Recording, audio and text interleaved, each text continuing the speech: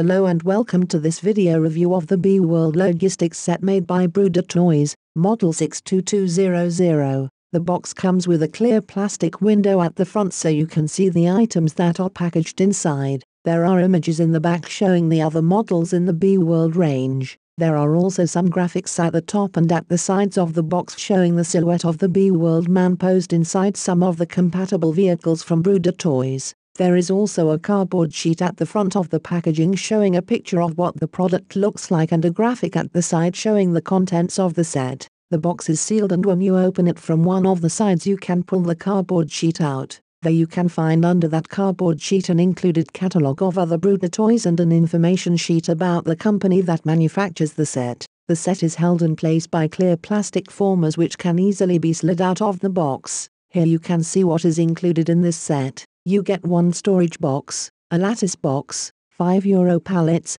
another lattice box, one pallet jack and one B-World man. Oh, and there also is a blue cap included for the B-World man. All of the items are made of high quality ABS plastic. Here is the storage box. It has a removable cover. Here's a demonstration on how you can store some items inside this box. Next are the two lattice boxes. These boxes can stack on top of one another. You can also put items inside it. Next are the 5 euro pallets. These are also stackable. Now we inspect the pallet jack. It has a movable handle. Underneath the body of the jack is a roller that swivels. The two forks at the front also has some roller. The unit rolls nicely on a smooth surface. The forklift can move up and down. It can hold its pose nice when you set its position in place. Now it's time to inspect this good looking B-World man. Sculpting on this 11 centimeters tall action figure is excellent. The printing on the face and clothes are well made. The head can move slightly up and down and can swivel from side to side.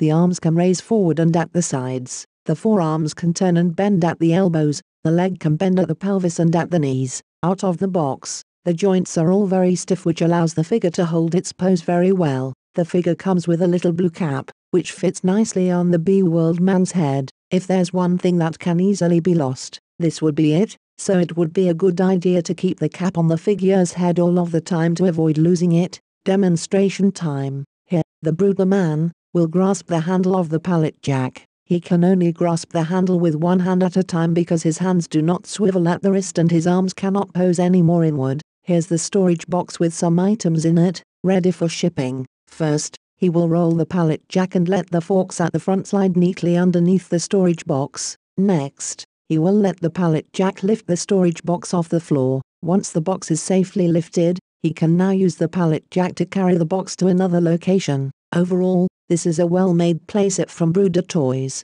The quality of the plastic used and the sculpting on the figure is top-notch. The scale details on the other accessories are also outstanding. This would be a perfect set for some imaginative freight and transport play. Let me know what you think. If you have any comments or questions about this playset, let me know by posting in the comments section below and I will make sure to answer back as soon as I can. Also, please make sure to like this video if you enjoyed watching this toy review. Time for me to move on and work on my next video. Thanks for watching and talk to you all soon.